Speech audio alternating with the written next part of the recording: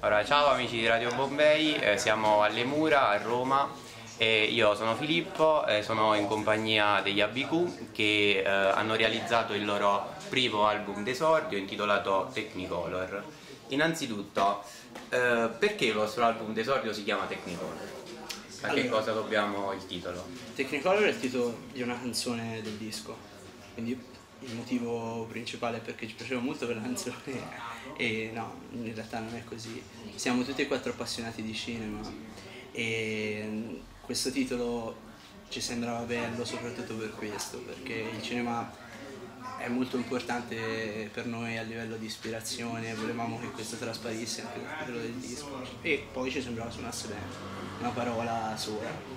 Ho Si capito. ricorda facilmente. E eh, per quanto riguarda sempre eh, il vostro album, eh, ho notato una grande conseguenzialità nelle tracce. Eh, anche se eh, è un album d'esordio, si può definire un concept album e se sì, qual è il tema principale del vostro album? E allora prendi te questa? Prendi Va bene. La, la prendi Preparata. Allora, eh, sì, la, la con- eh, cioè il, mm, non mm, innanzitutto non si può definire un concept, secondo me, perché un concept è una cosa che forse appartiene anche a un'altra epoca. Sicuramente. E, no, il disco è nato eh, in studio, mh, praticamente noi abbiamo portato dei pezzi che alla fine erano molto diversi gli uni dagli altri, come ad esempio i pezzi del, mh, dell'EP lontana da qui che sono molto diver- diversi l'uno dall'altro. In studio siamo riusciti in qualche modo a dare uniformità. Sì, ci abbiamo lavorato insomma perché questo E si siamo riusciti sentisse. a creare questa atmosfera mh, che è percepibile insomma quando si ascolta. Sì, sì, grande conseguenzialità appunto delle tracce, grande legame, nonostante magari la loro originaria eh, differenza, divergenza possiamo dire.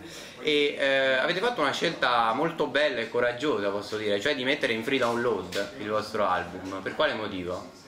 Che cosa vi ha spinto? Su Mediafire eh, siete andati forti insomma. Ma allora ci ha spinto il fatto di voler eh, arrivare a più gente possibile essenzialmente. E anche perché a me personalmente è quello che gradirei a qualunque, qualunque registrazione mi piacerebbe ascoltare. Poterla scaricare e poterlo fare legalmente. Ho capito, quindi la libera circolazione della cultura prima del profitto possiamo dire. Questa è una cosa molto bella. E ehm, nell'album si sentono le vostre influenze, forse sì, sicuramente le vostre passioni, shoegaze. Vi sentite più My Bloody Valentine o più Jesus and Mary Shane? Bellissima questa domanda, ci hanno mai fatto una domanda così, no, ve la rivolgo anche a voi. Più- Io mi sento molto My Bloody Valentine. Sì, anch'io, completamente. No, ma mm, mica per niente, ci piacciono tantissimo i Mary Chain, tant'è che in un pezzo del disco... Just ci- like Connie dallo stereo della sì, macchina. è proprio quello. Eh, capito. però davvero, forse Loveless è uno dei dischi che più ci accomuna, che più ascoltiamo e soprattutto mh, di cui invidiamo davvero il grande lavoro di studio e la, la bellezza dei suoni. Cioè ci piacerebbe in un futuro remoto riuscire ad avere un suono tipo quello. Ci proviamo ad ogni pezzo però. Sì, niente. cioè siamo riusciti. Ho capito. Vabbè, e si parla molto, diciamo, d'amore anche, soprattutto nel vostro album. Ah, siamo dei teneroni. Sì. Ehm, qual è l'ingrediente fondamentale secondo voi per scrivere una canzone d'amore senza essere però sdolcinati? Senza essere banali, sdolcinati possiamo dire. Io penso che sia parlare del proprio vissuto.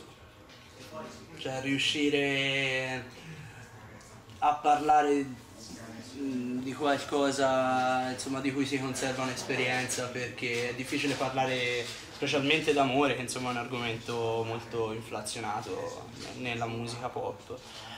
È mh, difficile riuscire a parlarne in maniera interessante, lo si può fare eh, guardando indietro al proprio- alla propria vita, insomma, se, in maniera lirica magari descrivendo episodi di- conosciuti.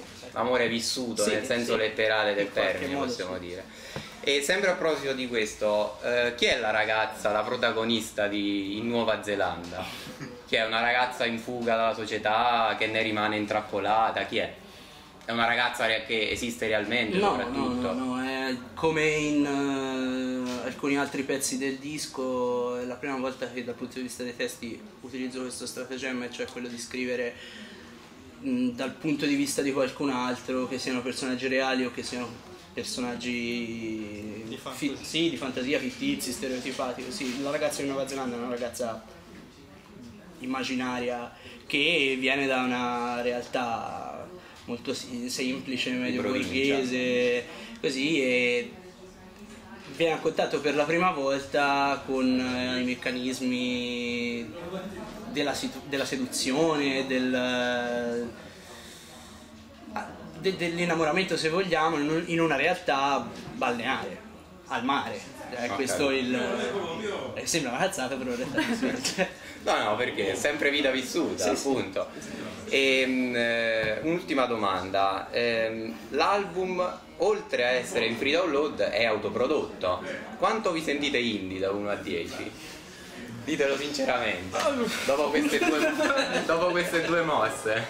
Vi che dici? Beh, è un sacco. Un sacco. Siete un sacco indie. Per forza di cose. Sì, per forza di cose. Per i mezzi, eh, Diciamo vogliamo è, limitati. è più una cosa alla quale ci dobbiamo abituare per forza che una cosa che vogliamo realmente perché noi in realtà vogliamo fare così senza eccessive categorizzazioni Va bene. Allora, possiamo essere soddisfatti, noi ci godiamo fra poco il concerto degli ABQ e salutiamo gli amici di Radio Bombay. Ciao. Ciao.